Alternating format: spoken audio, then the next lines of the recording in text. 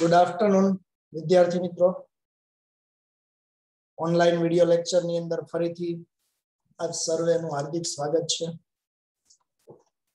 તારા video on કરો તો મને ખ્યાલ આવે કે તમે જાગો છો બધા.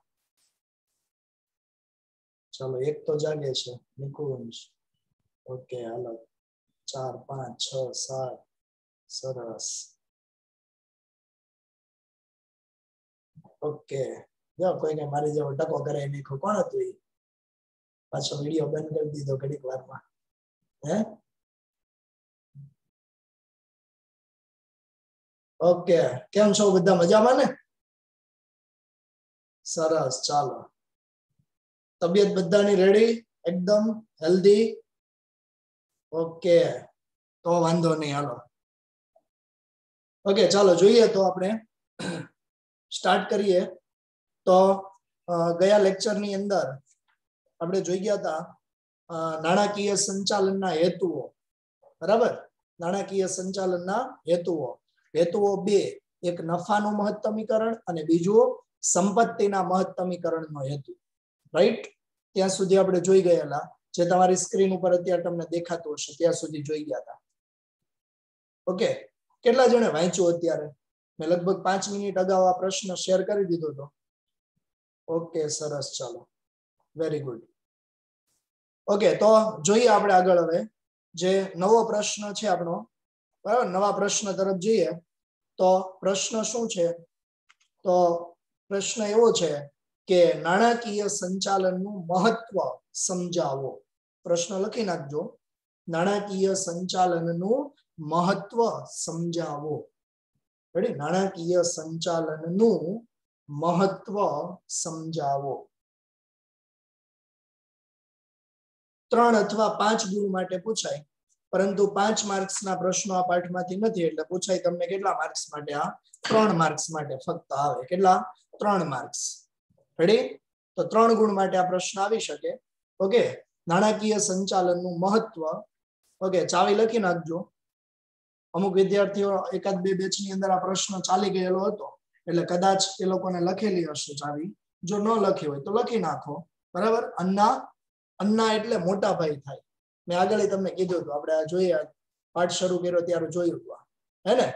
અન્ના એટલે કે મોટા ભાઈ અજા આ ચા નાના ધંધાની. બરાબર? અન્ના, આજા, આ ચા નાના ધંધાની. એના પરથી જોઈએ તો મુદ્દો. પહેલો નાણાકીય જરૂરિયાતોનો અંદાજ, અ એટલે કે અંદાજ, પછી નાણાં પ્રાપ્તિ, ત્રીજો મુદ્દો, આયોજન અને અંકુશ, પછી જાય એટલે કે જાળવણી, તરલતાની જાળવણી, ત્યાર પછી છે આવકની વહેંચણી, ત્યારબાદ ચાલુ મિલકતોનું સંચાલન, નેક્સ્ટ નાણાકીય નિર્ણયો, ત્યાર પછી છે એ નાણાંની વહેંચણી, અને લાસ્ટ મુદ્દો છે એ ધંધાની શાખમાં વધારો. ઓકે? અહીંયા એક મિનિટનો તમને સમય આપું છું. ત્યાં સુધીમાં કોઈને લખવાનું બાકી હોય તો એ લખી નાખો.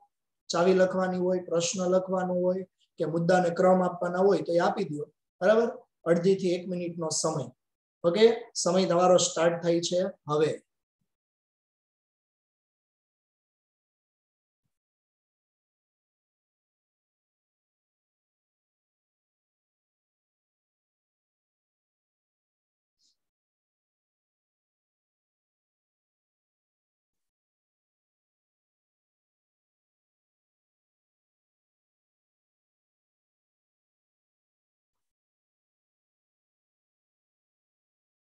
લખાઈ જાય એટલે રીતે કરજો એટલે ખ્યાલ આવે મને.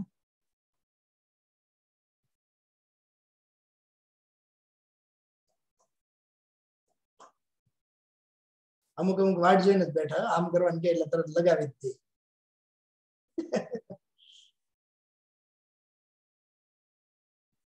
ઓકે, ચાલો. તો આગળ જોઈએ આપણે. રેડી તો પહેલો મુદ્દો છે નાણાંની જરૂરિયાતોનો અંદાજ. બરાબર? નાણાકીય સંચાલનનું મહત્વ. એમાં એક વાક્ય છે, એ જરા ટેક કરી દેજો તમે. ઓગણીસો ને પચાસ પછી વૈશ્વિક સ્તરે ધંધાકીય પર્યાવરણ અને આર્થિક સાંપ્રત પ્રવાહોમાં પરિવર્તન થવાના કારણે નાણાકીય સંચાલનનું મહત્વ વધ્યું છે. અને પ્રશ્ન એવો પૂછાય કે નાણાકીય સંચાલનનું મહત્વ ક્યારથી વધ્યું? તો ઓગણીસો પચાસ પછીથી. ક્યારથી? ઓગણીસો ને પચાસ પછીથી. રેડી નાણાકીય સંચાલનનું મહત્વ. લાડુમોર ક્યારથી વધ્યું છે? તો કે ઓગણીસો ને પચાસ પછીથી. ક્લિયર ચાલો, હવે જોઈએ એમાં પહેલો મુદ્દો, નાણાકીય જરૂરિયાતોનો અંદાજ. નાણાકીય જરૂરિયાતોનો અંદાજ. નિશ્ચિત સમય દરમિયાન ધંધા માટે લાંબા ગાળાની અને ટૂંકા ગાળાની કેટલી જરૂરિયાત રહેશે? એનો અંદાજ કોણ મેળવે છે? તો કે નાણાકીય સંચાલન. જો નિશ્ચિત સમય, એટલે કોઈ ચોક્કસ સમય દરમિયાન, ધંધા માટે લાંબા અને ટૂંકા ગાળાની મૂડીની જરૂર કેટલી પડશે? કોઈ ચોક્કસ સમયગાળા દરમિયાન, ધંધામાં લાંબા સમય માટે અને ટૂંકા સમય માટે મૂડીની જરૂરિયાત કેટલી રહેશે? એનો અંદાજ શેના દ્વારા મેળવી શકાય? તો કે નાણાકીય સંચાલન દ્વારા. લાંબા ગાળા માટે કેટલી મૂડીની જરૂર? લાંબા ગાળા માટે કઈ મૂડી જોઈએ? તો કે કાયમી મૂડી. બરાબર? કાયમી મિલકતોમાં જે રોકાયેલી મૂડી હોય, એની જરૂર કેવા સમય માટે હોય? લાંબા સમય માટે. અને ટૂંકા ગાળા માટે કઈ મૂડીની જરૂર હોય? તો કે કાર્યશીલ મૂડી. રોજબરોજના ખર્ચા કરવાના હોય વેતન મજૂરી ચૂકવવાની હોય, બિલ ભરવાના હોય, આ બધા માટે કઈ મૂડીની જરૂર પડે? કાયમી કાર્યશીલ મૂડી. એ ટૂંકા ગાળાની મૂડી છે. એટલે લાંબા સમય માટે અને ટૂંકા ગાળા માટે કેટલી મૂડીની જરૂરિયાત રહેશે? એનો અંદાજ કોણ મેળવી આપે? નાણાકીય સંચાલન. રેડી બીજો મુદ્દો જોઈએ. જો એક એક બબે વાક્યોના મુદ્દાઓ છે બધા ટૂંકા ટૂંકા નાના નાના મુદ્દાઓ, બરાબર? તો બીજો મુદ્દો જોઈએ, નાણાં પ્રાપ્તિ. નાણાકીય સંચાલન એ મૂડીના પ્રાપ્તિ સ્થાનોની કરકસરયુક્ત પસંદગી કરે. કરકસરયુક્ત પસંદગીનો મતલબ શું? તો કે ઓછામાં ઓછો ખર્ચ થાય. કરકસરયુક્ત પસંદગીનો મતલબ શું થાય? તો માની લો કે કોઈ જગ્યાએથી નાણાં પ્રાપ્ત કરવા માટે તો કે એક ટકાના દરે નાણાં મળતા હોય. મહિનાના એક ટકાના દરે નાણાં મળતા હોય. ક્યાંકથી દોઢ ટકાના દરે નાણાં મળતા હોય. એક પોઈન્ટ પાંચ ટકા લેખે બરાબર? તો ઓછા ખર્ચે નાણાં ક્યાંથી મળ્યા? એક ટકાના દરે નાણાં મળે છે ત્યાંથી. રાઈટ તો કહેવાનો મતલબ, નાણાકીય સંચાલનની મૂડીના પ્રાપ્તિ સ્થાનો છે ને, એની કરકસરયુક્ત પસંદગી કરે. હવે કરકસરયુક્ત પસંદગી કરવી હોય તો એના માટે તો કે પહેલા જોવું પડે કે બજારમાં ક્યાંથી કેટલા ટકાના દરે કેટલા વ્યાજના દરે નાણાં પ્રાપ્ત થઈ શક્યા છે? એક જ જગ્યાએ જઈને નાણાં લઈ આવશે તો કઈ ખબર નહીં પડે કે આનાથી સસ્તા ક્યાંકથી મળશે, ઓછી કિંમતે મળશે. ખ્યાલ છે? એટલે કીધું છે કે નાણાકીય સંચાલન એ મૂડીના પ્રાપ્તિ સ્થાનોની કરકસરયુક્ત પસંદગી કરી અને ઓછી પડતરે મૂડી મેળવી શકે. ઓછામાં ઓછી પડતરે શું થાય? મૂડી મળે. રેડી ત્રીજો મુદ્દો જોઈએ તો આયોજન અને અંકુશ આયોજન અને અંકુશ નાણાંનો ઉપયોગ કરકસર યુક્ત થાય એ માટે શું કરવું પડે? તો કે આયોજન સાથે અંકુશની જરૂર પડે. કોની જરૂર પડે? આયોજન સાથે અંકુશ રાખવો પડે. કેમ? તો કે ક્યારે ક્યાં કેટલા નાણાંનો ઉપયોગ કરવાનો છે એ માટે પહેલા શું કરવું પડે? તો કે આયોજન. અગાઉથી આયોજન થાય. રેડી અને આયોજન કર્યા પછી એ આયોજન મુજબ કામ થાય છે કે નહીં એ જોવાનું કામ કોનું છે? અંકુશનું. રેડી તો નાણાંનો ઉપયોગ કર કસરયુક્ત રીતે થાય એ માટે નાણાંના આયોજન સાથે અંકુશ રાખવામાં આવે છે. ઓકે તો ત્રણ મુદ્દાઓ થયા. નાણાકીય જરૂરિયાતોનો અંદાજ, નાણાં પ્રાપ્તિ, આયોજન અને અંકુશ. મુદ્દો ચાર છે, તરલતાની જાળવણી કરવી. તરલતા એટલે લિક્વિડિટી, રોકડ પ્રવાહ કહેવાય છે બરાબર? તો રોકડ પ્રવાહ પત્રક અને રોકડ અંદાજ પત્રક તૈયાર કરી અને તરલતાની જાળવણી કરી શકાય. રોકડ પ્રવાહ પત્રક એટલે કેટલું ધંધામાં રોકડની હેરફેર થાય છે. કેટલી રોકડ આવે છે, કેટલી રોકડ જાય છે, એના પરથી તો કે ચોક્કસ રોકડ સિલક હાથ ઉપર રાખી શકાય. મતલબ બેલેન્સ માની લો કે પચાસ લાખ રૂપિયા ધંધામાં આવ્યા. પ્રાપ્તિ સ્થાનો પાસેથી નાણાં મેળવા કેટલા? તો કે પચાસ લાખ રૂપિયા મેળવા એમાંથી બધા ખર્ચ કરતા તો કે ત્રીસ લાખ રૂપિયા ગયા. વિવિધ પ્રકારના ખર્ચાઓ કરવા તો રોકડ સિલક કેટલી રહી હાથ ઉપર? તો કે વીસ લાખ રૂપિયા. સમજ પડે છે? રોકડ પ્રવાહ પત્રક અને આ માટે શું કરવાનું? તો કે રોકડ અંદાજ પત્રક તૈયાર કરવામાં આવે. પહેલા રોકડ અંદાજ પત્રક. અંદાજ પત્ર એટલે બજેટ આપણે આગળ વ્યાખ્યાઓ જોઈ ગયા કે આવક અને ખર્ચના અંદાજિત આંકડાઓ દર્શાવતું પત્રક. એટલે એને શું કહેવાય? અંદાજપત્રક રાઈટ તો રોકડ પ્રવાહ પત્રક અને રોકડ અંદાજપત્રક તૈયાર કરી તરલતાની જાળવણી કરી શકાય અને જેથી ચોક્કસ રોકડ સિલક હાથ ઉપર પણ રાખી શકાય છે. નેક્સ્ટ મુદ્દો જોઈએ તો આવકની વહેંચણી. નફાનો કેટલો હિસ્સો? હિસ્સો એટલે ભાગ. નફાનો કેટલો ભાગ? શેર હોલ્ડરો વચ્ચે કયા સ્વરૂપમાં વહેંચાય? ડિવિડન્ડ તરીકે. ઓકે શેર હોલ્ડરોને નફો છે એ કયા સ્વરૂપમાં આપવામાં આવે? ઇક્વિટી શેર હોલ્ડરો એ ધંધાના સાચા માલિકો. તો એને નફો કયા સ્વરૂપમાં મળે? તો કે ડિવિડન્ડના સ્વરૂપમાં. તો નફાનો કેટલો ભાગ છે? એ શેર હોલ્ડરો વચ્ચે ડિવિડન્ડ સ્વરૂપે વહેંચવો. અને કેટલા નફાના ભાગનું પુનઃ રોકાણ પુનઃ રોકાણનો મતલબ શું થાય? તો કે ધંધામાં જે નફો થયો, એમાંથી જેટલો નફો ફરીથી ધંધામાં રોકાણ કરી દેવામાં આવે, તો એને નફાનું શું કહેવાય? પુનઃ રોકાણ ઓકે? માની લો પચાસ લાખ રૂપિયા નફો થયો, એમાંથી વીસ લાખ રૂપિયાનું રોકાણ કરી દીધું, ફરીથી ધંધામાં રોકાણ કર્યું. તો વીસ લાખ રૂપિયાનું શું કર્યું કહેવાય? પુનઃ રોકાણ. દસ લાખ રૂપિયા ડિવિડન્ડ ચૂક્યું બરાબર? તો એ દસ લાખ શેર હોલ્ડરો વચ્ચે કેટલો નફો વેચાયો? તો કે દસ લાખ રૂપિયા. ખ્યાલ આવ્યો? તો નફાનો કેટલો હિસ્સો શેર હોલ્ડરો વચ્ચે ડિવિડન્ડ સ્વરૂપે વેચવો અને નફાના કેટલા ભાગનું પુનઃ રોકાણ કરવું, તે નક્કી કરવામાં આવે છે. ટૂંકમાં અહીંયા મુદ્દો શું કીધો આપણને? આવકની શું કરવાની? વહેંચણી. જે આવક થાય ને, એ આવકની વહેંચણી કરવાની છે. રાઈટ જે આવક થાય, એની શું કરવાની છે? વહેંચણી.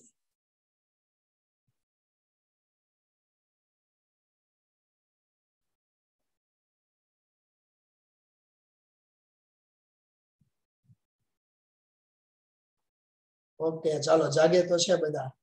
સરસ. વેરી ગુડ અમુક અમુક ને રહી રહીને લાઈટ થતી લાગે, હો. અમુક અમુક હાથ ઊંચા થઈ જાય ને પછી, અને હું બોલવાનું બંધ કરતો એટલે લગભગ બધા હાથ ઊંચા કરવા મળે. આમ ઊંઘમાંથી ઉઠીને આમ નથી કરવા મળતા ને બધા. નહીતર હું બોલવાનું બંધ કરું, હે એમ કરીને હાથ ઊંચા કરવા પડે. એવું નથી થતું ને? ઓકે, ચાલો, ઓકે, સરસ. તો જોઈએ આપણે આગળ. સમજ પડે છે ને બધાને રેડી આગળ જોઈએ તો મુદ્દો નંબર પાંચ, પછી જોઈએ તો મુદ્દો નંબર છ. ચાલુ મિલકતોનું સંચાલન. શેનું? ચાલુ મિલકતોનું શું કરવાનું? સંચાલન. જો ચાલુ મિલકતોમાં કોનો સમાવેશ થાય?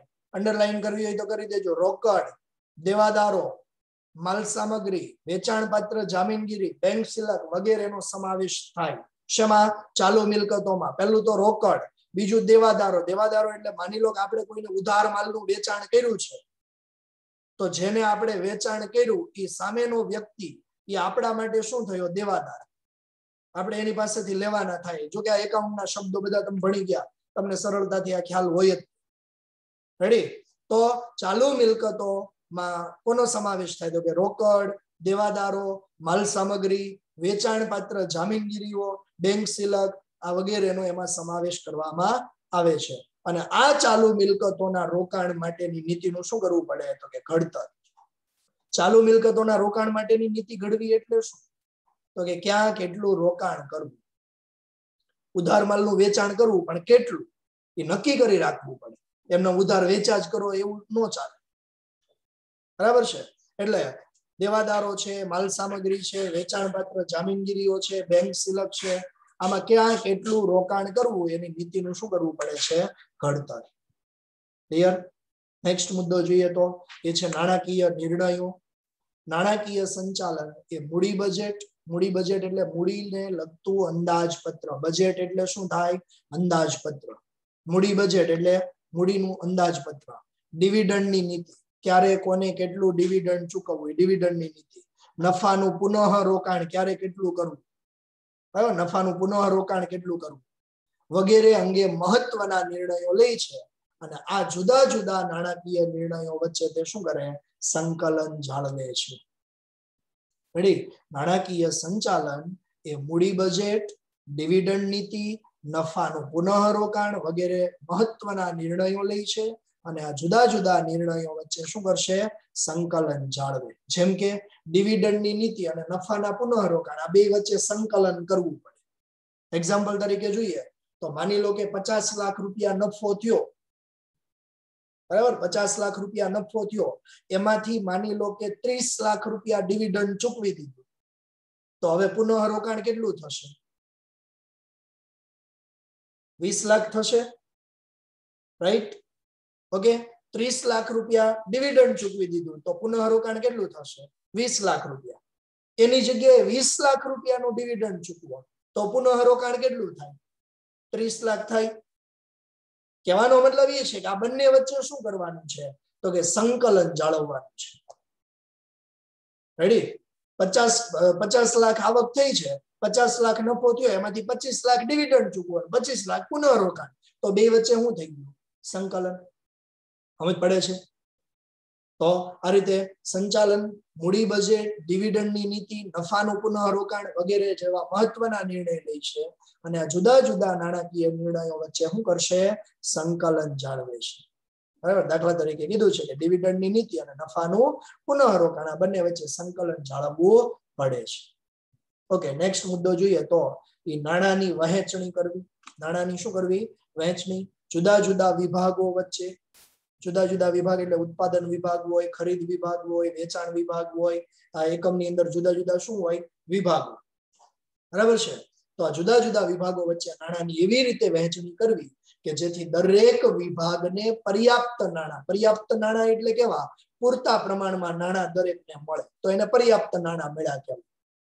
તો જુદા જુદા વિભાગો વચ્ચે નાણાંની એવી રીતે વહેંચણી કરવી જોઈએ કે જેથી દરેક વિભાગને પર્યાપ્ત નાણાં પ્રાપ્ત થાય, એટલે કે મળી રહે. રેડી અને લાસ્ટ મુદ્દો છે આમાં. ધંધાની શાખમાં વધારો થાય. શેમાં? ધંધાની શાખમાં વધારો. કઈ રીતે? ધંધાની પ્રગતિ અને વિકાસમાં નાણાકીય સંચાલન મહત્વનું યોગદાન આપે છે. જેમ કે કાર્યક્ષમ નાણાકીય સંચાલન એ નાણાકીય અનુકૂળતાઓ ઊભી કરે છે. નાણાકીય સંચાલન કેવું હોય? કાર્યક્ષમ. જ્યારે જરૂર પડે ત્યારે તાત્કાલિક નાણાં મળી રહે. બરાબર? એવી વ્યવસ્થા અગાઉથી કરવી પડે. તો એ નાણાકીય સંચાલન કેવું બન્યું? કાર્યક્ષમ. કાર્યક્ષમ નાણાકીય સંચાલન છે ને, એ નાણાકીય અનુકૂળતાઓ ઊભી કરે. જેથી કર્મચારીને પગાર અને લેણદારોને સમયસર ચૂકવણી થાય. જો ધંધાની શાખ વધે ક્યારે? કર્મચારીને સમયસર પગાર આપી દેવામાં આવે અને લેણદારોને એના નાણાંની સમયસર ચૂકવણી કરી નાખવામાં આવે. તો ધંધાની શાક શું થશે? વધારો. આપણી ક્રેડિટ કોઈ વ્યક્તિ સામે ક્યારે વધશે? આપણી શાખ, આપણી પ્રતિષ્ઠા ક્યારે વધે? તો કે આપણે ભલે કોઈની પાસેથી પચાસ રૂપિયા લૂછીના લેવા હોઈએ પણ આપણે જે સમય આપ્યો એના કરતા એક દિવસ અગાઉ આપણે આપી દઈએ, તો આપણી શાખમાં શું થાય? વધારો. બીજી વાર આપણે પચાસની જગ્યાએ પાંચસો રૂપિયા જોતા હશે, પાંચ હજાર જોતા હશે તો એ મળશે. કેમ? સમયસર આપણે નાણાં ચૂકવી દઈએ તો. પણ પચાસ રૂપિયા આપણે કોઈની પાસેથી ઉછીના લીધા હોય, પછી સામેના વ્યક્તિએ જ યાદ રાખે. આપણે જ યાદ રાખીએ જ નહીં, તો એ ચાલે? તો કે નહીં. બરાબર? એમાં આપણી શાખ, આપણી ક્રેડિટ ખરાબ. કહેવાનો મતલબ એ છે કે ધંધાની અંદર પણ, ધંધાની શાખમાં વધારો ક્યારે થાય?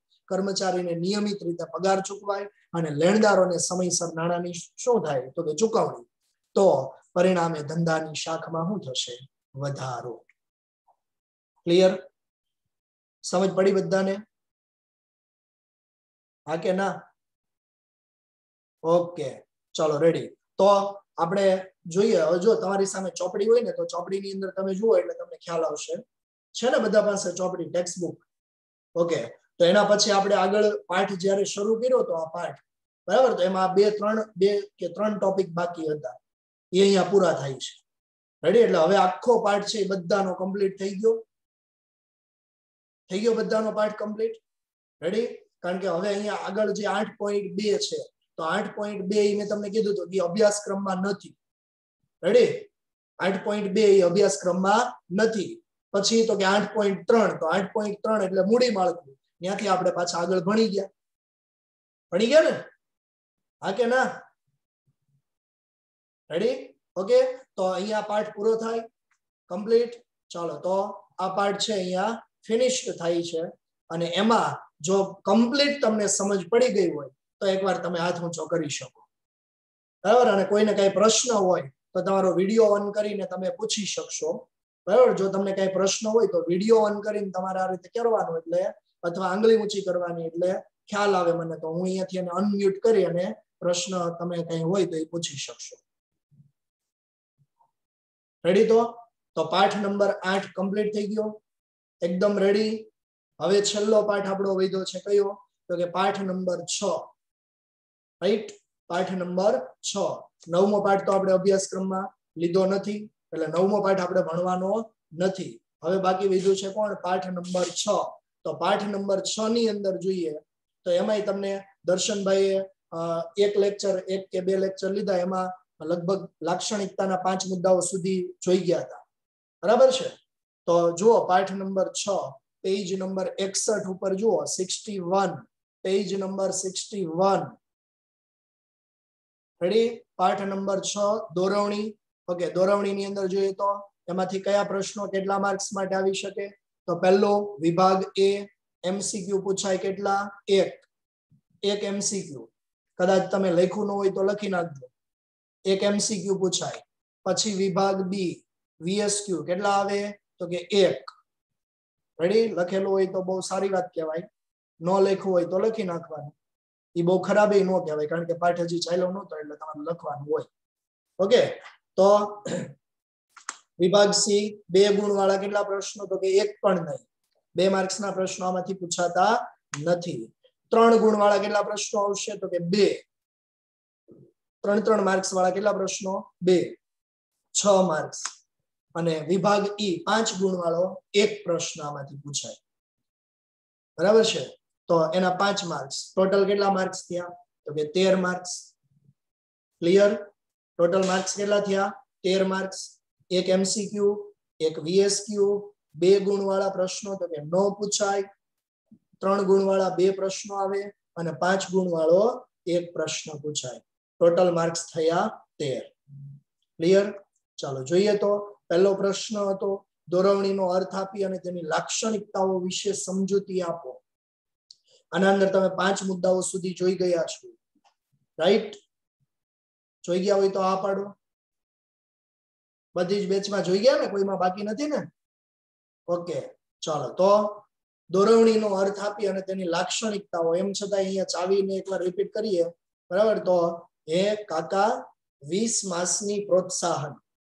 હે કાકા વીસ માસની પ્રોત્સાહન. જો કોઈને લખવાનું બાકી હોય તો એ લખી નાખજો. અહીંયા તમારી સ્ક્રીન ઉપર તમને મુદ્દાઓ દેખાશે. બરાબર? પહેલો મુદ્દો, હેતુલક્ષી પ્રવૃત્તિ. બીજું સંચાલનની બધી સપાટીએ થતું કાર્ય, ત્રીજું કાર્યો પર દેખરેખ, ચોથું વિશાળ કાર્યક્ષેત્ર. કોણ? માસ્ક પહેરીને બેઠો છે. એટલી બધી બીક લાગે છે? ઓકે મેં તો ઘરે બેઠા તો માસ્ક પહેરીને બેઠા છો એટલે બીક લાગે, બહુ કોરોનાથી ડરવાની જરૂર નથી હો. સાવચેતી રાખવાની ખાલી. ડરવાનું નહીં. શું કરવાનું? ખાલી સાવચેતી રાખવાની છે. ઓકે સારું તો જોઈએ. પહેલો મુદ્દો, હેતુલક્ષી પ્રવૃત્તિ. બીજું, સંચાલનની બધી સપાટીએ થતું કાર્ય. ત્રીજું, કાર્યો પર દેખરેખ. ચોથું, વિશાળ કાર્યક્ષેત્ર. પાંચમું, સતત ચાલતી પ્રક્રિયા. છઠ્ઠું, માહિતી સંચાર. સાતમું, સંચાલકીય કાર્ય. આઠમું, નિમ્નગામી પ્રવૃત્તિ. અને નવમો મુદ્દો છે પ્રોત્સાહન. પ્રશ્ન પાંચ ગુણ માટે પૂછાય. અહીંયા ત્રણ માર્ક્સ માટે લખ્યું છે, પણ ભૂલમાં લખાઈ ગયું છે. પાંચ માર્ક્સ તમારે કરવાના. બરાબર? આ પ્રશ્ન તમને પૂછાય, કેટલા ગુણ માટે? પાંચ ગુણ. અગત્યનો પ્રશ્ન, મહત્વનો પ્રશ્ન, પાંચ માર્ક્સ માટેનો. બરાબર? તો, અને પાંચ પાંચ માર્ક્સ નો પ્રશ્ન એવું હું કહું, એટલે ઘણાને યાદ આવતું હશે તમે પાંચ માર્ક્સ ના પ્રશ્નો કહેવાના હતા. બરાબર ને? તો હું એકાદ લેક્ચરની અંદર તમને કહી દઈશ રેડી કે પાંચ માર્ક્સ ના પ્રશ્નો છે, એ આપણે કેટલા પ્રશ્નો આપણા માટે ખૂબ અગત્યના છે, મહત્વના છે. રેડી એ એકાદ લેક્ચરની અંદર આપણે જાણ કરી દેશું તમને. પછી થોડું ઘણું ગાલા એસાઇનમેન્ટ સોલ્યુશન કરાવવાનું છે, એ બધું આપણે પછી આ પાઠ પૂરો થાય એટલે કરવાનું છે. ઓકે તો લખાઈ ગયું બધાને આટલું લખાઈ ગયું? લખાઈ ગયું? ઓકે, ચાલો. તો જોઈએ, આના અંદર આપણે પાંચ મુદ્દાઓ સુધી જોઈ ગયા હતા. દોરવણીનો અર્થ અને લાક્ષણિકતા. કેટલા મુદ્દા જોઈ ગયા હતા? પાંચ મુદ્દાઓ સુધી. દર્શનભાઈ ભણાવ્યું હતું. રાઈટ પહેલો મુદ્દો હતો હેતુલક્ષી પ્રવૃત્તિ. બીજો મુદ્દો સંચાલનની બધી સપાટીએ થતું કાર્ય. પછી ત્રીજો મુદ્દો સતત ચાલતી પ્રક્રિયા. કાર્યો પર દેખરેખ અને વિશાળ કાર્યક્ષેત્ર. અહીંયા સુધી જોઈ ગયા હતા?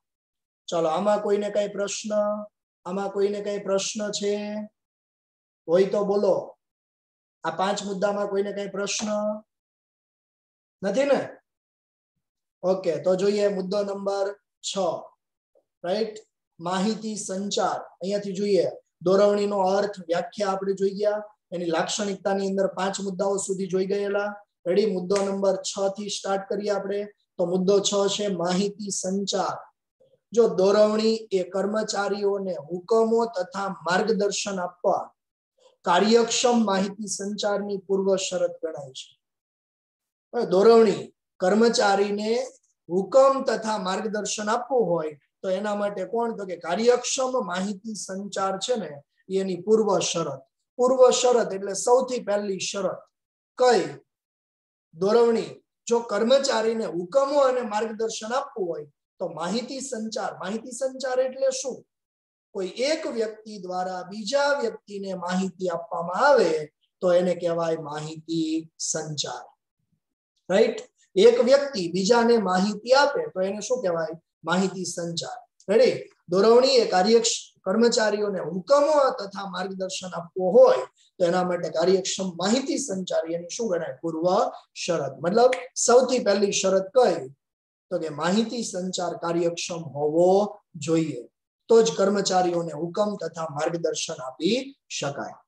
બીજું, જો માહિતી સંચારની પ્રક્રિયા વ્યવસ્થિત નહીં હોય ને, તો યોગ્ય સમયે યોગ્ય કર્મચારીને યોગ્ય માર્ગદર્શન આપી શકાતું નથી.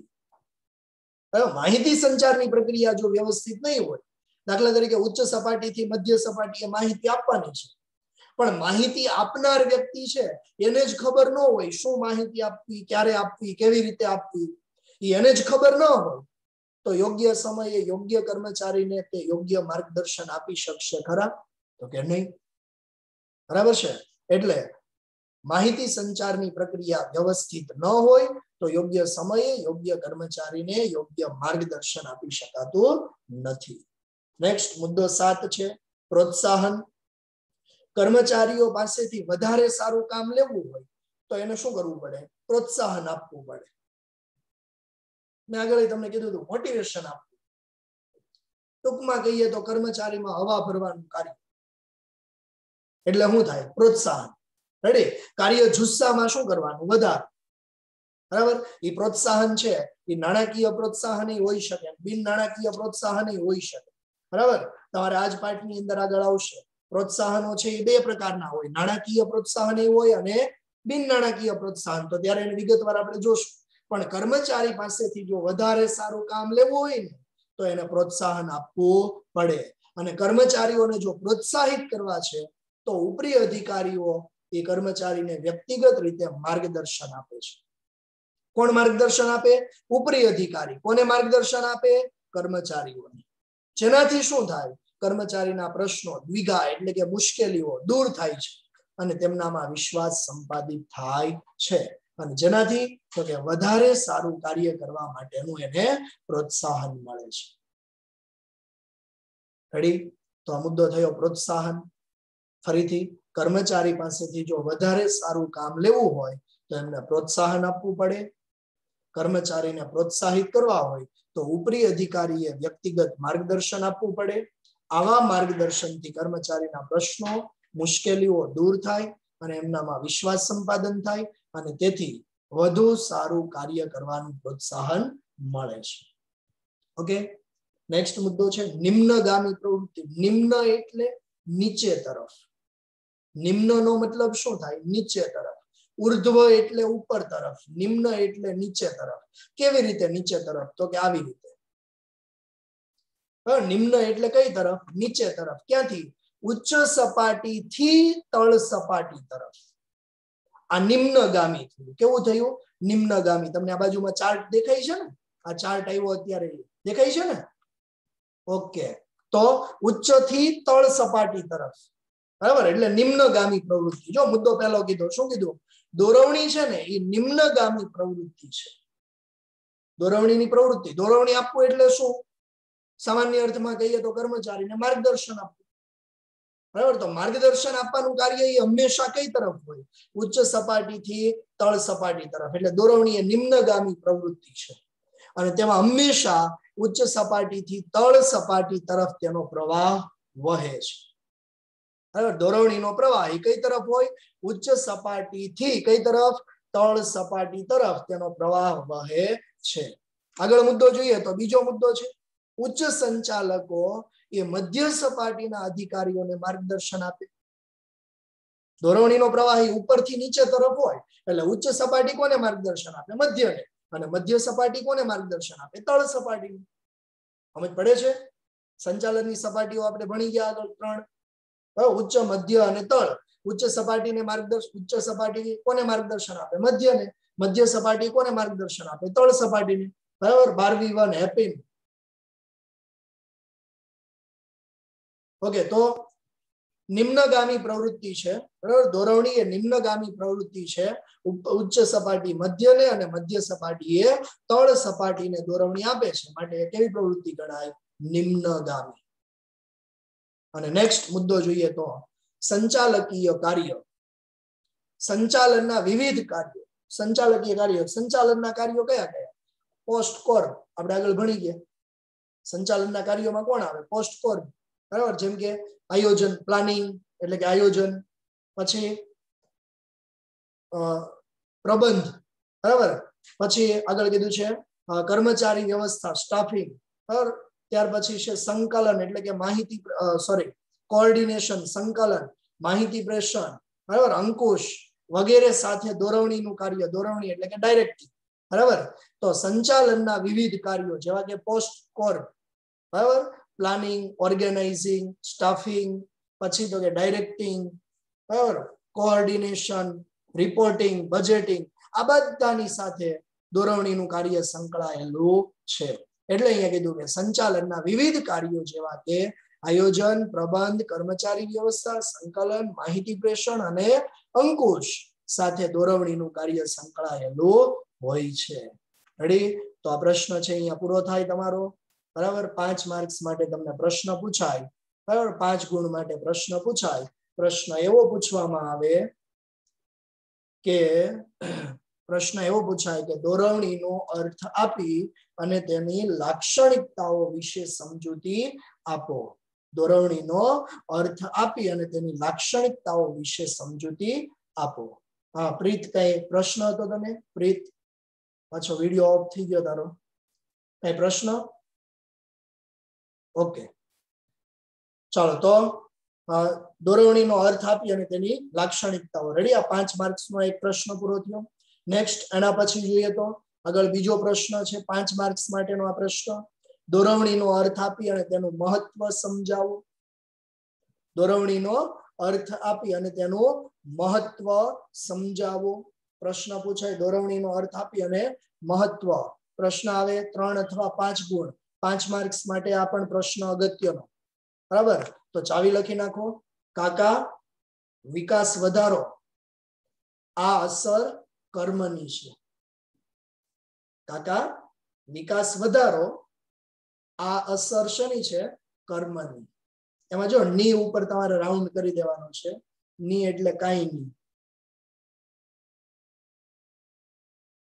રેડી કાકા વિકાસ વધારો. આ અસર કર્મની. પહેલો મુદ્દો, કાર્યક્ષમતામાં વધારો. કાર્યક્ષમતાનું વિશ્લેષણ. આ બધા હું મુદ્દા તમને સ્ક્રીન ઉપર આપી દઉં છું, એટલે તમારે છે ને નોંધ કરી દેવાની છે રાઈટ ચાલો, એક મિનિટનો સમય. વ્યવસ્થિત નિરાતે લખી નાખો.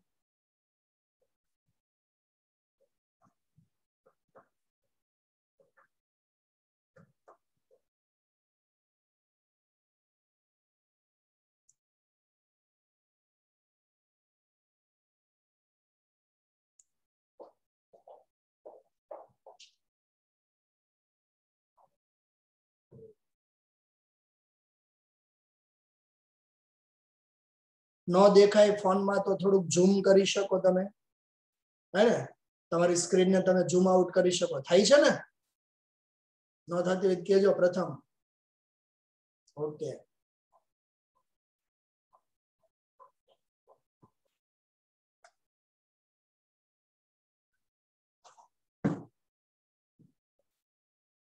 ચાલો લખાઈ ગયો? ઓકે, ચાલો તો પ્રશ્ન ફરીથી રિપીટ કરી જાઉં છું મુદ્દા સાથે. દોરવણીનો અર્થ આપી, અર્થ આપણે વ્યાખ્યાઓ આગળ જોઈ ગયા. બરાબર? વ્યાખ્યાઓ જે પણ જોઈ ગયા ને, એમાંથી તમારે એક વ્યાખ્યા ફરજિયાત કમ્પ્લીટ કરવાની. અને એ કહી તો કે કુંતજ અને ઓડોનલના મત પ્રમાણે. રેડી એક વ્યાખ્યા તમારે ફરજિયાત બાકી કરવાની. કારણ કે કોઈ પણ વ્યાખ્યા પૂછે ત્યારે તમે કુંતજ અને ઓડોનલના મતે લખશો તો ચાલશે. અને એના મત મુજબ વ્યાખ્યા શું આપી છે? તો કે તાબેદારોને માર્ગદર્શન આપવું અને તેના પર દેખરેખ રાખવાનું કાર્ય એટલે દોરવણી. બહુ સરળ અર્થમાં વ્યાખ્યા છે ને? તાબેદારોને માર્ગદર્શન આપવું અને તેના પર દેખરેખ રાખવી એટલે દોરવણી. આ બાર પીટું કોણ ધાબા ઉપર ચડીને બેઠું છે? ઓકે સારું કઈ વાંધો નહીં, બેહો, પણ નેટવર્ક ન આવતું એટલે બેહવું પડે ને એમ? સારું હાલો, ઓકે. તો અર્થ આપી અને તેની લાક્ષણિકતાઓ સમજ મહત્વ સમજાવો. બરાબર? તો મહત્વની અંદર કાકા વિકાસ વધારો, આ અસર કર્મ, કર્મની. બરાબર?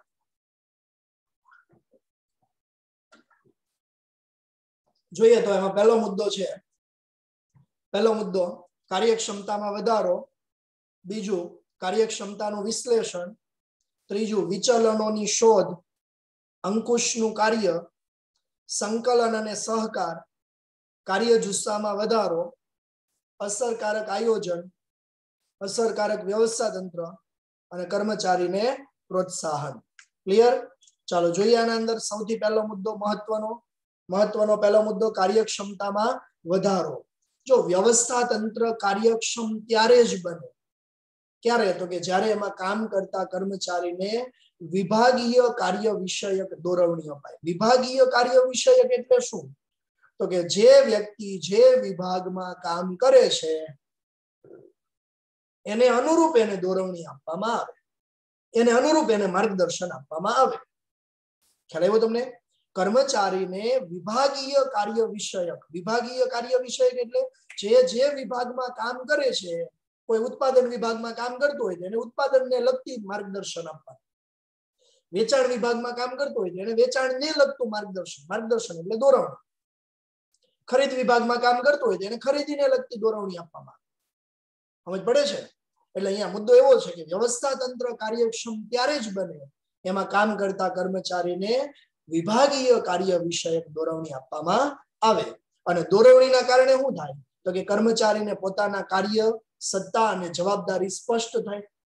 માર્ગદર્શન મળે એટલે એની એને કયું કાર્ય કરવાનું છે? એની શું સત્તા છે? એની શું જવાબદારી છે? બરાબર? એની સ્પષ્ટતા થઈ છે. અને જેનાથી કાર્યક્ષમતામાં શું થાય? વધારો. બરાબર? દોરવણી આપવાથી અને માર્ગદર્શન મળે છે. જેથી એનું કાર્ય કયું કામ કરવાનું, કયા વ્યક્તિએ કયું કામ કરવાનું છે, પછી એની સત્તા શું, એની જવાબદારી શું, એને ખ્યાલ આવે છે. આમ એની કાર્ય કરવાની ક્ષમતામાં શું થશે? વધારો. રાઈટ બીજો મુદ્દો જોઈએ તો કાર્યક્ષમતાનું વિશ્લેષણ થાય. દોરવણી દ્વારા કર્મચારીના કાર્યનું વિશ્લેષણ થાય. વિશ્લેષણ એટલે વર્ગીકરણ કરવું, વિભાજન કરવું વહેંચવું કાર્યનું મૂલ્યાંકન કરવામાં આવે. મૂલ્યાંકન એટલે જોવું કોણ કયું કામ કરે છે, કોણ ભણવામાં ધ્યાન આપે છે, કોણ ભણવામાં ધ્યાન નથી આપતું. બાર પી સિક્સ રોલ નંબર છત્રીસ. બરાબર? કેટલું ભણવામાં તમે ધ્યાન આપો છો, કેટલું ધ્યાન નથી આપતા? બાર વાતો કરો છો બીજા જો વીડિયો ઘડીકમાં ઓફ કરી દો આપણે કઈ કઈ અહીંથી કઈ તરત વીડિયો ઓફ ઓકે, તો ચાલો, તો દોરવણી દ્વારા શું થાય? કર્મચારીના કાર્યનું વિશ્લેષણ થાય. તેના કાર્યનું મૂલ્યાંકન કરવામાં આવે છે, બરાબર? અને દોરવણી પ્રમાણે કર્મચારીએ કામ કર્યું છે કે નહીં? જો કામ કર્યું છે તો કેટલા પ્રમાણમાં કામ થયું છે? એની કાર્યક્ષમતા વધી છે કે નહીં? વગેરે બાબતોનું વિશ્લેષણ અને મૂલ્યાંકન થઈ શકે છે. વિદ્યાર્થી મિત્રો, અહીંયા ત્રણ મુદ્દા તમારે લખવાના થાય. આમાં ત્રણ વાક્યો લખવાના થાય. જો તમને એમ કહે ને કે કાર્યક્ષમતાનું વિશ્લેષણ, તો પહેલું વાક્ય શું લખવાનું?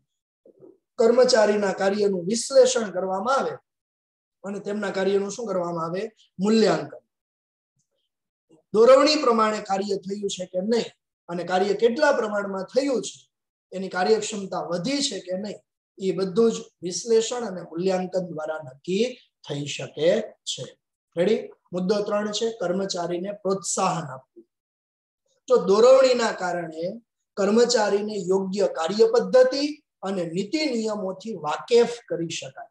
વાકેફ કરવા એટલે માહિતગાર કરવા. માહિતી આપવી. કોઈ કર્મચારીને દોરવણી આપવામાં આવે, તો એને એની કાર્ય પદ્ધતિ કઈ પદ્ધતિથી કામ કરવાનું છે અને કયા નીતિ નિયમોનું પાલન કરવાનું છે, એને લગતી એને શું થાય? તો કે માહિતી મળે. જેના કારણે શું થશે? કાર્ય અંગેની તેમની દ્વિઘાઓ. દ્વિઘાઓ એટલે મુશ્કેલીઓ, પ્રશ્નો, અડચણો દૂર કરી શકાય. જેથી કાર્ય કરવાનું એને શું થાય? પ્રોત્સાહન મળે. ખ્યાલ દોરવણીના કારણે કર્મચારીને યોગ્ય કાર્ય પદ્ધતિ, મતલબ કયા વ્યક્તિએ કયું કાર્ય કરવાનું છે એને લગતી માહિતી મળે. નીતિ નિયમો ને લગતી માહિતી કયા નીતિ નિયમોનું પાલન કરવાનું છે. બરાબર? એની માહિતી મળે. માહિતી મળે, મતલબ એના નીતિ નિયમોથી વાકેફ કરવા. વાકેફ એવો શબ્દ આપ્યો છે ને, વાકેફ કરવા એટલે માહિતગાર કરવા, માહિતી આપી શકાય. જેનાથી શું થાય? તો કે કાર્ય અંગેની એમની મુશ્કેલીઓ દૂર થાય અને કાર્ય કરવાનું પ્રોત્સાહન મળે છે. મુદ્દો આગળ. અસરકારક આયોજન. ધંધાકીય એકમના બધા જ કાર્યોનું આયોજન કોઈ એક જ વ્યક્તિ દ્વારા શક્ય નથી. બહુ સાચી વાત છે. એકમના બધા જ કાર્યોનું આયોજન કોઈ એકલો વ્યક્તિ કરી શકે? તો કે નહીં? માની લો કે એક જ વ્યક્તિએ ઉત્પાદનનું આયોજન કરવાનું, વેચાણનું આયોજન કરવાનું, ખરીદીનું આયોજન કરવાનું, આ બધું જ કામ છે એ કોઈ એકલો વ્યક્તિ કરી શકતો નથી. બરાબર છે? આ બધું કામ કોઈ એક જ વ્યક્તિ કરી શકે નહીં. બીજું તો કે આયોજન કરનાર અધિકારીઓ એ મદદનીશો દ્વારા જરૂરી શું કરશે? તો કે માહિતી એકત્રિત કરી અને આયોજન કરે. ટૂંકમાં આયોજન કરવા માટે અધિકારીઓ એકલા છે, એ આયોજન નહીં કરી શકે. તો એને મદદનીશો પાસેથી જરૂરી માહિતી ટૂંકમાં મદદનીશોની મદદ લેવી પડશે. મદદનીશો દ્વારા માહિતી એકત્રિત કરશે અને એના આધારે શું કરશે? આયોજન. બરાબર? આયોજન છે, એ કોઈ એક જ વ્યક્તિ દ્વારા શક્ય નથી. તો આયોજન કરે કોણ? તો કે અધિકારી. અધિકારીએ જો આયોજન કરવું હોય તો મદદનીશોની મદદ લેવી પડે. મદદનીશો શું કરશે? તો કે માહિતી એકત્રિત કરી અને અધિકારીઓને આપે છે. જેના આધારે અધિકારીઓ આયોજન કરે અને આયોજન દ્વારા તો કે નિર્ધારિત કરેલા ધ્યેયને પાર પાડવાનું કાર્ય દોરવણી દ્વારા થાય. આયોજન દ્વારા જે ધ્યેય નક્કી થયા હોય એ ધ્યેયને પૂર્ણ કરવાનું કામ પણ કરે છે દોરવણી.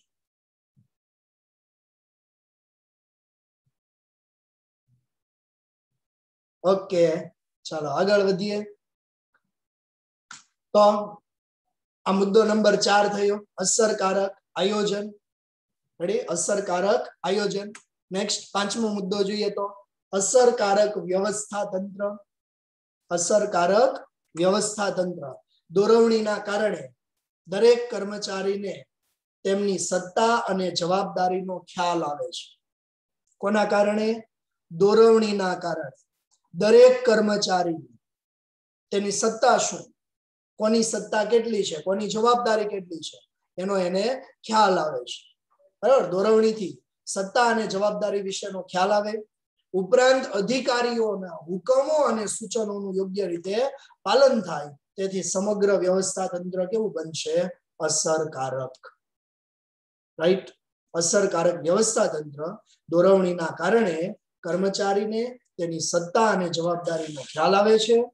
ઉપરાંત અધિકારીઓના હુકમો અને સૂચનોનું યોગ્ય રીતે પાલન થાય છે અને તેથી સમગ્ર વ્યવસ્થા તંત્ર કેવું બને છે? અસરકારક. ક્લિયર તો આ પાંચ મુદ્દાઓ થયા આમાં. બરાબર? મહત્વની અંદર કેટલા મુદ્દાઓ થયા? પાંચ મુદ્દાઓ. હજી આના પછી ચાર મુદ્દાઓ છે બાકી છે. બરાબર? એ બાકી મુદ્દા આપણે નેક્સ્ટ પીરિયડની અંદર જોશું. બરાબર? હવે છે ને કોઈ વિદ્યાર્થીઓ મીટિંગ લીવ નહીં કરે. હું તમને ઓલા પાંચ માર્ક્સ વાળા પ્રશ્નો ટીક કરાવી દઉં. બરાબર છે? પાંચ પાંચ માર્ક્સ વાળા પ્રશ્નો છે, અગત્યના ટીક કરાવી દઉં. તો દરેક વિદ્યાર્થીઓ ચોપડી હાથમાં રાખો. ચોપડીની અંદર હું પેજ નંબર કહેશ. એ પેજ નંબર ઉપરથી તમારે ટીક માર્ક કરતો જવાનો છે. અગત્યના પ્રશ્નો જે છે, પાંચ માર્ક્સ માટેના પૂછાવા લાયક એ. રેડી કોઈ મીટિંગ લીવ કરવાની નથી. ઓકે